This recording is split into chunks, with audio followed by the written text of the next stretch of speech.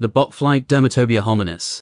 Botflies are parasitic insects found in various parts of the world, including Central and South America. What makes them particularly unsettling is their life cycle and mode of reproduction. Female botflies lay their eggs on the body of a host, usually mosquitoes or other biting insects. When the host insect bites a human or an animal, the body heat triggers the hatching of the botfly eggs. The larvae then burrow into the skin of the host and develop further, feeding on the host tissue for several weeks. The presence of these larvae beneath the skin can cause intense itching, pain, and discomfort. Eventually, the fully developed botfly larvae emerge from the host skin, leaving a hole or wound behind. This process can be both physically and psychologically disturbing, as the idea of having a larva living and feeding inside the body is quite unsettling for most people. Although botfly infestations are relatively rare, encountering these parasitic insects and witnessing the consequences of their life cycle can be truly creepy and disturbing.